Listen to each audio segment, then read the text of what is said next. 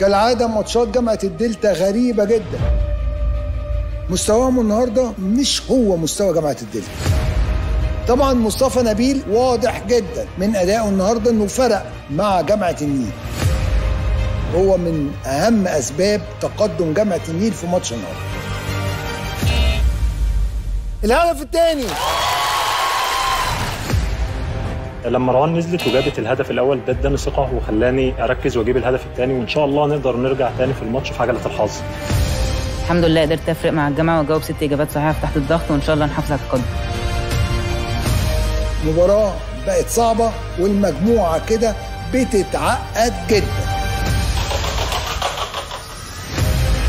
خلينا نشوف إيه اللي هيحصل في ماتش النهارده ومين اللي هيكسب الثلاث نقط يا ترى جامعة النيل ولا جامعة الدلتا؟